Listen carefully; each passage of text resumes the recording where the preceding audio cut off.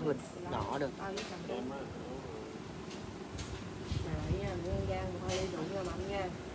ủa lần sao Tôi giống như hôm bữa nó lời lời em nói về em bậy rồi em mắc cười quá nó cùng nó đi em nói ủa em nói gì em, đâu có tham gia một cái cuộc anh còn cái lý trí của anh mà ủa lần sao ờ lần sau anh đâu, anh đâu có điên đúng không? Anh còn lý trí của anh mà đúng không?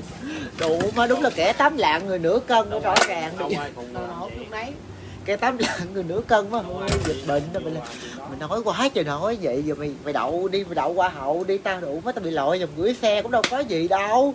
Thì mày đẹp mày xứng đáng đậu qua hậu còn tao đủ má xấu quá đi. Gửi xe lui đéo xe giấy cho mày đủ mấy xe này nó hết chỗ rồi hết chỗ gửi là đi mẹ mày rồi nó chửi không còn cái lục què gì hết. Thì nói ủa lấy cái lồn gì? Ơi là trời. Đủ mới chưa bao giờ tao tức kia luôn. Cái hỏi cả nhà nè hồi chiều ha em mua một cái uh, em mua một cái muối một mấy một góc tư mít mít thái. Đó. Em ăn thì nói chung là em cũng ham ăn lắm. Mua một góc tư chứ ăn đâu có hết. Đủ má đói con mắt chứ đủ má. Cái gì quên tao nói đói gì? Đói con mắt hơn đói bao tử thấy mít ngon quá thì đủ con đĩ mẹ nó mít thái mà nó cam chứ nó không có vàng nó cam. Trời nó coi tao nói nó ngọt dữ lắm nó ngọt nó thơm như sầu riêng gì. Ai? Anh tiền. Còn hôm bữa nó ngồi nó ăn cơm trên gác tao nói nó nó hù tao có muốn sửa lòi lồn em hỏi mọi người nè thì bây giờ đi hang em thấy cái cái cái cái, cái miếng mít nó ngon quá thì ờ như vậy chị ờ miếng này 45 ngàn rồi em mua về em ăn thì mọi người biết mà ăn cái gì mà ngon là đủ mình không có điểm dừng. Đủ mới giống như là danh danh dặn gì đó. Nếu mà ngon quá là ờ đủ mới chơi tới mày luôn nè đủ má mày ờ mày sao tao vậy đó. Ăn quá trời ăn luôn. Cuối cùng thì sao? Ăn nhưng mà thay vì người ta người ta lộn sơ mít đầu ra người ta bỏ hột mít người ta dục vô dỗ, dỗ luôn đi dục vô cái rổ nó như miền tây cái dỗ cho dễ thương. Đủ con đĩ mẹ nó thay vì lột hột mít dục vô cái bịch sơ mít đồ dỗ mít dục không lấy hột mít để riêng để riêng như này để riêng vô cái rổ, rổ, rổ. đây cái dụ ra ta thấy được cái thí dụ nha. Nè thí dụ cái rổ nè ăn mít xong phải không? Em bỏ ờ, hột mít vô cái rổ đi. Đó.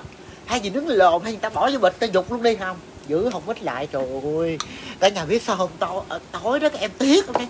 trời ơi hột mít gì giờ mình bỏ uổng mà bây giờ mình gieo trồng thì đâu có đất đâu trồng. Nhà đủ mới đâu có miếng đất nào đâu. Cái cái lồn ma nó tới cục cức em đem lên em luộc. Thế sao xui khí sao em luộc trên đủ con đĩ mẹ em ăn cả đêm này em. Em địch. Em địch mà đủ con đĩ mẹ nó địch liên tục.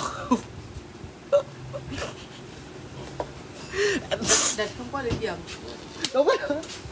Em địch mà đủ má cái cú địch rồi nó chắc địch cú đó đủ mẹ còn cái địch. Cái lồn ma nó tới cục cức. Em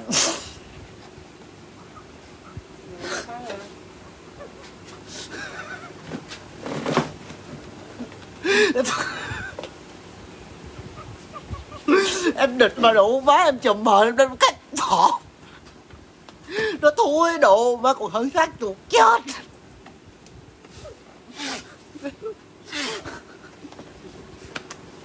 Đủ con đĩ mẹ nó mà, em không biết sao. Ông bà người ta nói là đừng có ăn hột mít, nó địch dữ lắm, em không tin.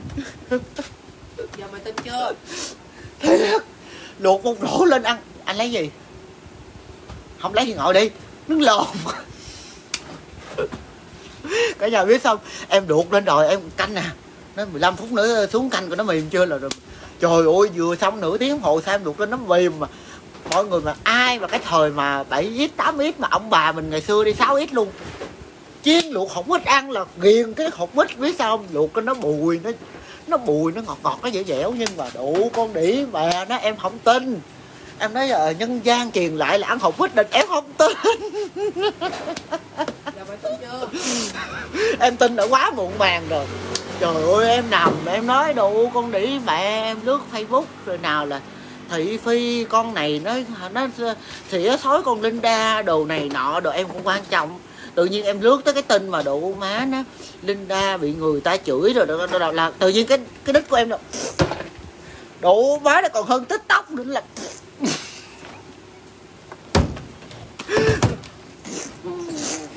trời ơi em nằm trên em nằm trên niệm mà em địch đủ má nó 720 độ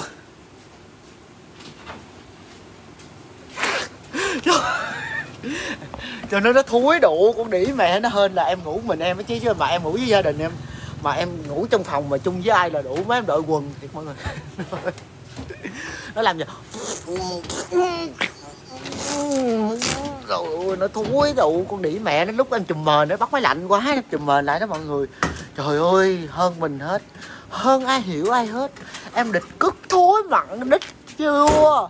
Đít em kem lỗ em keo anh chị dọn thì em về nếu anh chị không cho nữa thì thui đít em keo. Rồi đó coi ta nói nó thúi đủ mà nó thúi hết con đường rồi đủ má nó. Nó đít em kem độ em kem mà em công nhận nha, tới chưa nó tha em đúng một, là ba giây thôi là nó một cái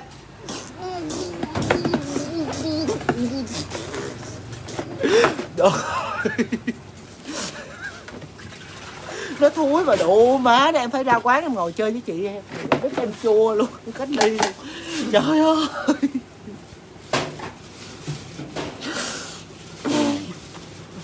Nó thúi mà đủ cái con đi mẹ nó tình yêu đè bẹp cái bu qua lồn tôi nói rồi là về sau là em ăn bít, là em dục liền em dục đủ mấy hộp bít này đây trời ơi ta giữ lên một rổ làm cái lồn gì nó thui đủ con đĩ mẹ. Mọi người ngủ chưa nè? Hôm nay ai được cái em sinh quá mặc đồ nhìn đơn giản mà đẹp chút chỉ yêu ngày mới may mắn. Thì bây giờ chị cũng nói luôn nè thằng uh, Nguyễn Hoàng Quốc Tấn chị cảm ơn em. Em đã uh, nói cho biết chị biết là chị đơn giản mà xinh thì thật sự nhiều khi chị cũng muốn đơn giản lắm nhưng mà à, đời mà em nhiều khi mình đơn giản quá thì nó cũng đơn độc lắm nên là chị cũng đứa em kèo địch mà nó thúi đủ ý mẹ nó thúi nó thúi hết con đường luôn.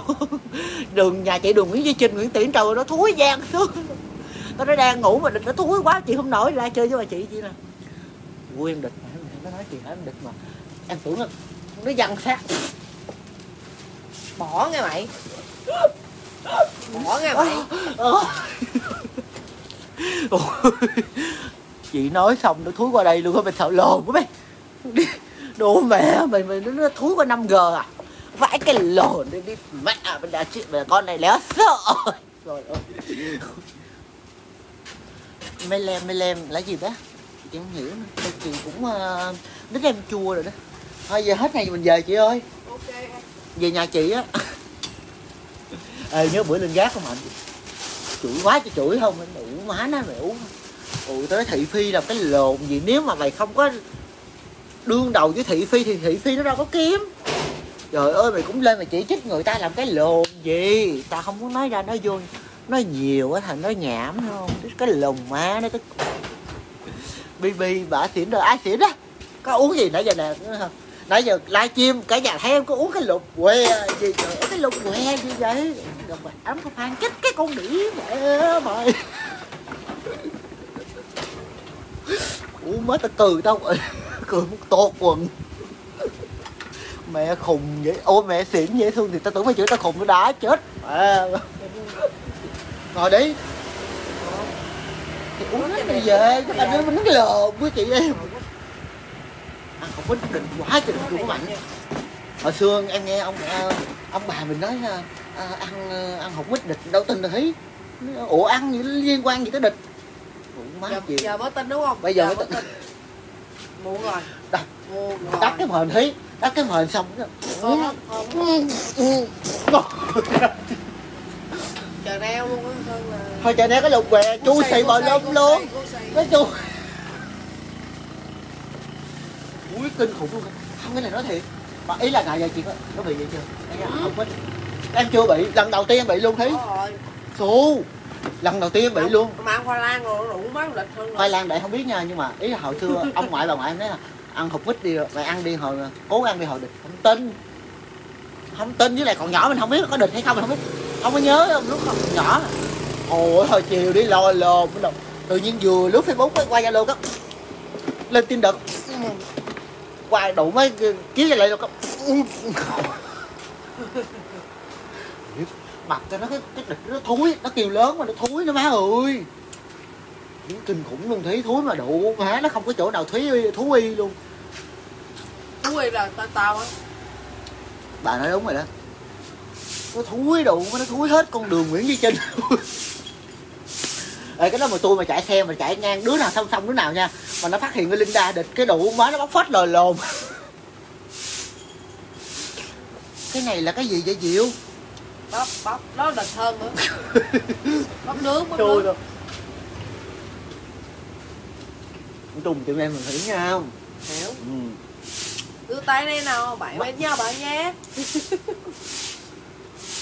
Đi mẹ của bắp là nó cái lôi gì Tìm quá trời tim luôn kìa Cảm ơn cái tình yêu của Trinh nha. Thèm sầu riêng trời ơi cưng ơi. Nè nói thiệt nè. Mai là chị ăn hột mít mà chị còn địch vậy đó còn cái hột sầu riêng, Cái tác dụng của nó như thế nào nữa cưng? Sầu riêng chắc đủ mấy chị bò chị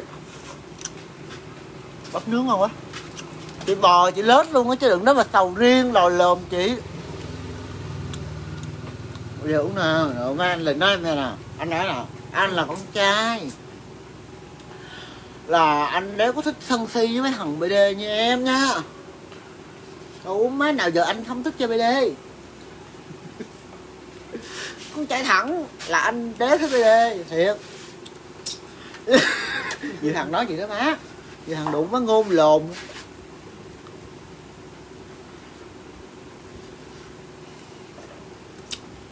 Nó nói chuyện nhiều khi đó, cuộc sống nó không như mình nghĩ đâu. Phải chị phải đăng quang một cái cuộc thi nào đó chị mới hiểu đủ có những cảm giác của mình. Ấy cái gì? Cái quá rồi cái gì? Ê, cảm gì con gì nó vui. Nó chui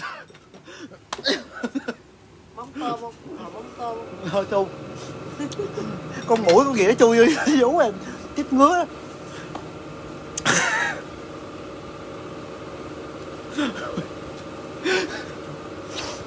ủa sao mà khuya rồi mà mọi người vẫn xem livestream đông vậy?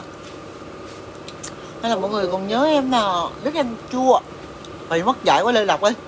Địch văn cức không mình game lồn. Địch thôi địch hơi với thúi thôi chứ không có văn sát hả? Thì ờ bây giờ khuya rồi không nghĩ tin. Mọi người ơi mọi người đừng có hỏi em là cái nhân vật đó là ai ha. Thì ví dụ như nhân vật đó cảm thấy bất bình. Không có là có cứ lên tiếng. Chứ mọi người đoán như vậy ở nhiều khi cái kết quả nó phút 99 nó bất ngờ lắm mọi người. Đây chỉ là bắt đầu cuộc chơi thôi nha quý vị. BD bị chà đạp nhiều rồi mà cái người chà đạp cũng là BD luôn ngộ vậy đó. Cũng bóng gió luôn mà nó chà đạp nhau chứ như bây giờ nè nó hơn người ta thì nó hưởng phước nó đi.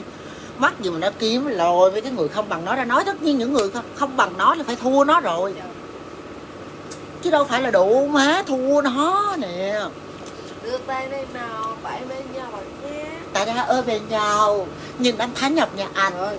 Mà khó khăn đi qua dù mai có ra sao? Thì Vân sẽ tự hào. Bãi luôn bên nhau Bãi bên nhau bạn nhé. Đưa tay lấy nhau bóp cu nhau bạn nhé. Một cách thế giới chứ lại thôi. Bên ngoài thế giới chứ lại quá trời luôn kìa. Nó ăn cà pháo tôm không? Có cà pháo nha, có không tuần thôi chứ không có cà pháo Cà pháo đâu đó người ta bắt đâu hũ tôm ăn Đậu hũ, đậu hũ thì hết luôn rồi, tới tụi mình tôi ăn hết. Còn miếng kìa tôi đút vào sao bỏng ăn. Nè, cái này gì? Không phải đậu hũ hả? Đó Nè Tôi đút vào không ăn? Nó lồn, nó tức dễ sợ chấm. Ta đã ở bên nhau Ê có ai sặc rượu không vậy? Nhưng năm tháng nhập nhà anh Yêu quyết như filler Bông filler hương mặt Trời nhiều người cứ lo em ra cái vụ hư mặt nói hoài. Mà mọi người thấy không? Mặt em em đâu nói là đẹp hay xấu đâu mọi người. Em hư. Nhiều chị phụ nữ lớn tuổi rồi á, Như coi livestream của em, Nói cái mặt con này biến dạng, mày ghê quá, mày nhìn lại mày đi. Nhưng tại sao? Có khi nào mấy chị bỏ một phút ra để nhìn lại mình không?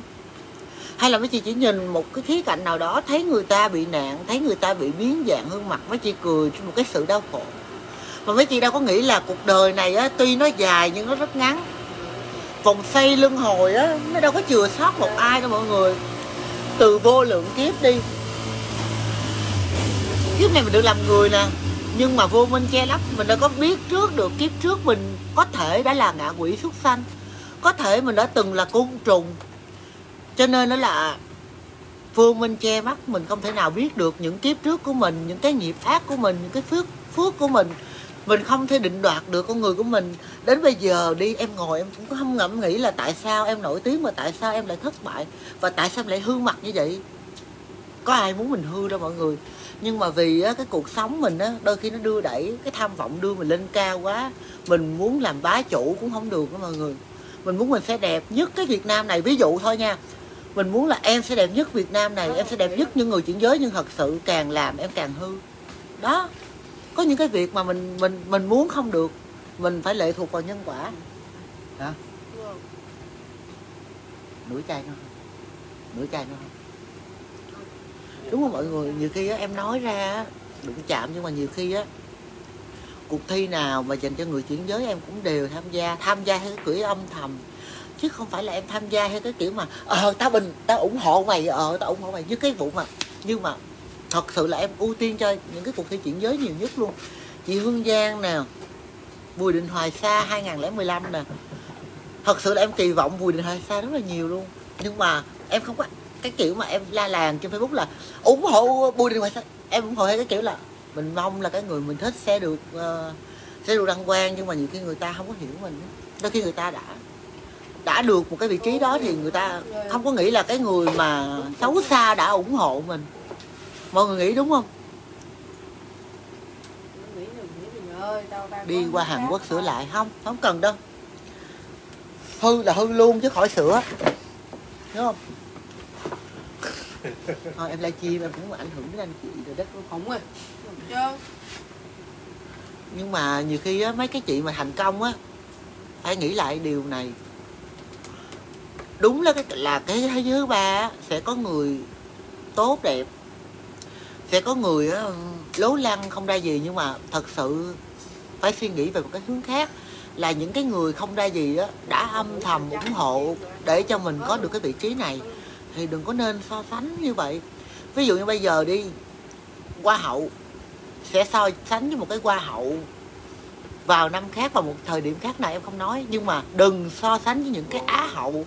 Ừ miền lợi thế gian mà nếu mình so sánh mình phải so sánh ngang tầm hoặc hơn mình. Mình so sánh ăn mài so sánh ăn xin làm gì? Được cái gì? Em hỏi mọi người đúng không? Em không phải là lôi cái chuyện ngày xưa ra để em nói nhưng mà trong một cái lúc mà em đau khổ em đau khổ về cái tâm của em em lôi ra em nói như vậy thôi chứ thật sự em cũng không có muốn mà đưa cái người đó ra làm lồn gì. Nếu mà em làm lại cái gan em á thì có người ta cũng bị tẩy chay hay là hoặc là không thì em cũng bị người ta chỉ trích thì được cái lồn gì? Em đăng lên như vậy đó ai nhột lên tiếng? gì gì vậy? Anh chị nói chuyện đi nãy giờ em dạ. Ta đã ở bên nhau những năm tháng nhọc nhằn it feel you feel like ta bông feel bị Ờ, hello trần đoàn chị nói em hiểu không? Đó em cũng từng bị rồi em biết. Mình thi một cái cuộc thi không phải đơn giản mà mình được đặt cách vào vòng trong cái yếu tố ủng hộ nó không quan trọng bằng cái nhân cách của mình đối xử nhân, đối nhân xử thế như thế nào. Người ta nhìn thấy mình đẹp, người ta nhìn thấy mình hiền, nhưng người ta đâu biết. Mình đối xử nhân, đối nhân xử thế như thế nào đâu. Thậm chí là chị là là một con BD từng đi lên một cái chiều hướng xấu, chửi tục, chửi thề. Nhưng mà cái đó là cái, đó là cái tác động xã hội dành cho chị, chứ không phải là chị tự nhiên mà chị đứng dậy chị, tao là đủ, tao chửi con đĩ đây nè, tao chửi đĩ kia, con đĩ BD kia kiếm chuyện tao không có tại vì người ta thấy mình sao ta kiếm chuyện thì mình nhờ mạng xã hội lấy cái công bằng giùm mình. Đâu phải là tao tự nhiên tao chửi đâu.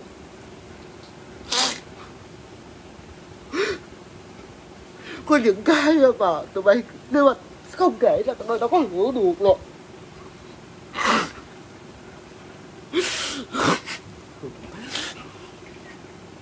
tao đau.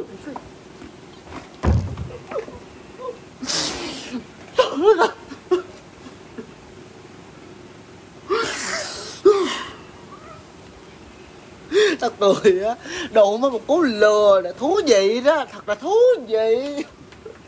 À tụi em khóc. Nhưng mà nói chung là vậy đó mọi người. Nói chung là không có lửa sẽ có khói, đốt lửa lên mới có khói được. Cho nên là nếu mà mình đã được một cái vị trí cao rồi đó mình nhìn xuống những người thấp hơn mình thì mình phải thông cảm và đáng thương họ hơn là mình chỉ trích họ vì nếu mình chỉ trích một mình họ thì mình phải nhìn vào mọi khía cạnh. Họ đã có từng tiền án tiền sự phạm pháp hay không? Họ đã có từng ăn cắp ăn trộm móc túi ai hay không? Hay là nếu mà so về cái uh, họ lên mạng họ chửi thề nói tục câu like vẫn được đi ừ thì cũng chấp nhận họ dơ như vậy đi. Nhưng mà họ có đáng chỉ trích hay không? Khi mà mình đã được một cái một cái uh, ngôi vị địa vị hơn họ rồi mình chỉ trích họ làm cái gì? Hả? Khóc quá hả? Khóc cái con cặc. Đủ má tao khóc cha khóc mẹ chứ cái thứ đó tao khóc cái lồn. Đủ má lấy răng la bàn này tao chậm nước mắt nó chậm nước đáy lồn tao này ăn đỉ ta sẽ đưa mày từ bất ngờ này qua bất ngờ khác. Mày hiểu không? Đĩ chó. Đó chích mẹ mày đó. Tới em chưa ta ra ở bên nhà ông nắm tay kìa Mẹ đâu có khóc đâu cái con yêu của mẹ nói về vấn đề nổi tiếng, không nổi tiếng gì ở đây nè, hồi đó từng nổi luôn nè. Rồi hồi đó tự hào kêu mạng lắm, nhưng mà thật sự luôn. Càng về sau mình càng cảm thấy là nó không có là cái gì hết. Trái lại nó còn đem lại cho mình những cái thiệt hại nữa. Càng nổi thì càng tai tiếng. Mình được thì mình phải mất thôi. Không ai mà được hoài không, ai mà được được được được được. Bá chủ sơn lâm hết mình phải mất. Nhưng mà trong giới em hỏi mọi người nè, nếu mình đã hiểu được, mình đã đạt một cái địa vị địa vị cao rồi, mình đã được một cái vị trí cao rồi, mình nhìn xuống người thấp, mình phải thương hơn họ, mình thậm chí luôn, nếu mà một cái người mà sáng suốt một cái người mà có đạo đức á, muốn nâng cái người thấp lên gần bằng mình luôn, chứ không có ai mà thấy người ta thấp, đẹp đẹp người ta hết á. Ủa, mình làm vậy chi? Được cái gì? Đức tú mai, nghe nè cưng chị nè cho nên là ừ, mỗi người có một hoàn cảnh đừng có mà lôi người ta ra nói. Nói cho sướng cái miệng mình đi. Làm cho đã cái nương mình đi. Nhưng cuối cùng á thời gian nó xây chuyển mình bị cái lồn gì ai biết được đó mọi người. Ở đây không có mượn rượu mà nói nhưng mà thật sự là con người á chứ đâu phải con cặc đâu mà để nói hoài. À, ta đã ở bên nhau những năm tháng nhanh con người ấy cái sức chịu đựng con người có giới hạn. Hơn nữa mình trong giới mình đừng có mà vội chỉ trích một ai đó. Đôi khi là mình cũng đã từng tệ hơn họ, nó không chừng. Mình cũng đã từng tệ hơn cái người mình chỉ trích nữa. Chẳng qua là do may mắn mình mới leo lên một cái ghế cao hơn họ mình ngồi thôi. Mình chỉ trích họ được cái gì? Cho nên là mình đừng có vội phán xét ai hết thời gian sẽ trả lời thôi. Ai đúng, ai sai thì khó nói được lắm. Em không đúng nha mọi người nha, nhưng mà em bị người ta chỉ trích thì em lên tiếng thôi. Còn cái quan điểm đúng sai á, để mọi người nhìn nhận. Em không có được học vấn cao. Cũng không có được cái cơ may để mình ờ, vấn thân vào những cái cuộc thi, nhưng mà thật sự đôi khi em nghĩ ờ, nhờ như vậy mình mới an toàn chứ nếu mà mình vấn thân vào những cuộc thi mình được đăng quang hoặc là mình được một cái vị trí ừ được vị trí cao nào đó thì mình phải đương đầu với mọi thứ nhức đầu lắm mọi người ơi. Vậy sao? Về không hả? Chưa hết rượu đã về rồi. Còn nhiều má nó đông mà nghĩ đâu nó đông trai nó đéo đông thì mọi người nghĩ đi. Ừ, dọn đi chị. Dọn đi về đó thì em chỉ nói theo quan điểm của em thôi. Em không có bắt mọi người phải theo ý em nha, nhưng mà mọi người thấy đi. Nếu như mà một người đã được lên cái tầm cao rồi mà xỉa xói những cái người không không bằng mình như vậy, mọi người thấy có bất công không? Mọi người thấy có bất công không? Cho nên là cái livestream này chị có xóa không? Trời, em nghĩ sao chị xóa vậy? Không đâu em. Chị phải để. Cho dù chị đúng, chị sai, phải để mọi người nhìn nhận chị. Dù cho chị có bị tấn công hay là cái gì, một mình chị chống chọi với những cái con khác chị cũng chống nữa. Tại vì chị bị nhiều rồi, chứ không phải một lần. Ha, nếu mà chị được, nếu mà chị được học thức, chị được may mắn, chị được đăng quang những cuộc thi nè, thì những cái con đó tuổi lồn nào với chị? Sẽ tìm cách hãm hại chị. Chứ không phải mà ngồi nói chuyện đạo lý làm cái lồn gì, cô hằng nói quá đúng, cô hằng nói quá đúng. Đạo lý làm làm gì? Sống đúng với bản thân, không hẹn với lương tâm là được. Rõ ràng thật sự luôn, đạo lý làm gì giờ chị nói đạo lý cũng như được nè nói nhưng mà trong cái cuộc sống của chị như lồn thì ai nghe? Về luôn phải không? Hôm nay là tôi hết mình với bà đó nha. Bà nói gì sao? Thôi nói chứ về nghỉ đi. Thật sự mà nói luôn á mọi người thì um, người ta thường nói quân tử trả thù 10 năm chưa muộn mà. Nhưng mà cái này là không phải là cái bước trả thù của em nha. Cái này là em chỉ nhắc lại cái quá khứ là nhắc cho người đó biết là đừng đừng có nghĩ là mình ngồi trên vị trí cao mình nhìn xuống ai cũng thấp như mình thật sự không? Ở đây tàn chứ chưa chắc phế nha bé. Ở đây tàn thiệt nhưng chưa chắc phế. Cuộc đời sẽ là câu trả lời. Từ từ từ từ cuộc đời nó dẫn dắt mình đi xa lắm. Thậm chí khi mình muốn về lại về không được á.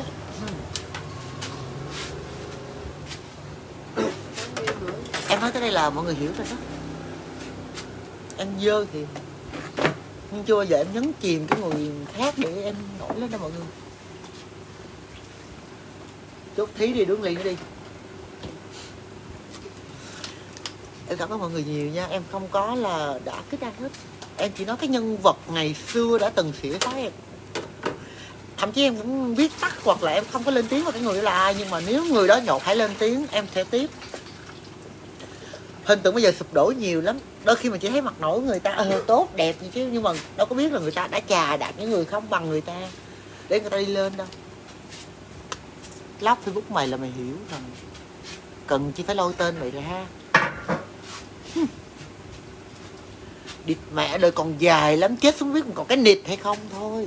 Đít em keo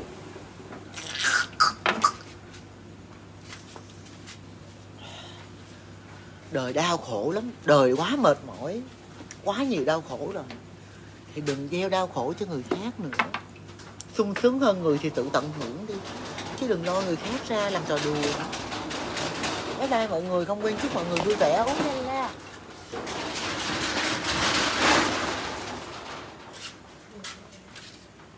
đĩ chân lòn xem hoài vẫn đĩ? Mày đứng lộn hả? Đủ má mày chốt đơn hoài đi cho mấy đĩ kia nó chửi mày mấy anh đĩ mà đủ mấy bóng kính nó chửi mày vô. Tao thấy không? Mấy anh đĩ bóng kính nó vô nó chửi mày quá trời ông đòn. Vô nó ờ, ờ, ờ trần đòn này thì kia toàn bóng kính hay bóng kính nhiều hơn á. Kệ đi em. Đời mình à không ai hiểu cho mình đâu. Sống đúng với bản thân của mình đạo lý làm lộn gì đạo lý mệt lộn lắm em ơi.